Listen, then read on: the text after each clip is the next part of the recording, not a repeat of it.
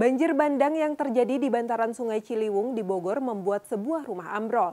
Arus deras sungai juga membuat sebuah jembatan alternatif putus. Inilah detik-detik robohnya sebuah rumah di bantaran Sungai Ciliwung, Bogor, Jawa Barat, Senin pagi. Gambar yang dikirimkan oleh Komarudin, Ketua RT Babakan Pasar Bogor ini awalnya merekam derasnya arus Sungai Ciliwung Senin pagi. Arus deras yang akhirnya menggerus pondasi rumah yang bagian belakangnya memang sudah lebih dulu jebol ini.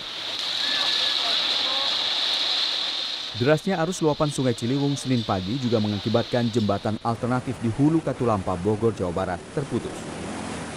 Terjangan arus bahkan membuat pagar jembatan penghubung dengan wilayah Gadok itu ambrol. Akibat jembatan putus di terjang arus, warga tak dapat melintasi jembatan sepanjang hampir 20 meter tersebut.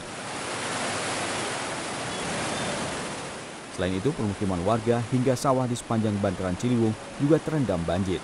Hingga Senin siang, banjir di permukiman bantaran sungai masih belum surut lantaran masih tingginya arus sungai Ciliwung. Hujan deras yang mengguyur kawasan puncak Bogor, Jawa Barat selama lebih dari 12 jam membuat debit air di Bendung Katulampa terus naik. Senin siang, ketinggian air sempat bertahan di level 240 cm.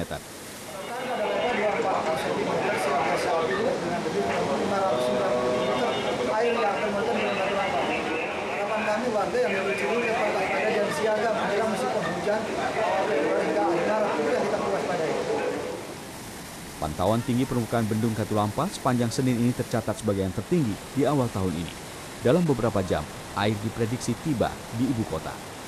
Guyuran hujan deras sejak minggu pagi juga membawa bencana di kawasan puncak Bogor. Hujan memicu longsor yang meluluh lantakan sejumlah bangunan. Salah satunya sebuah bangunan di kawasan Cikeretek, Caringin, Kabupaten Bogor yang akhirnya musnah ditimbun longsor.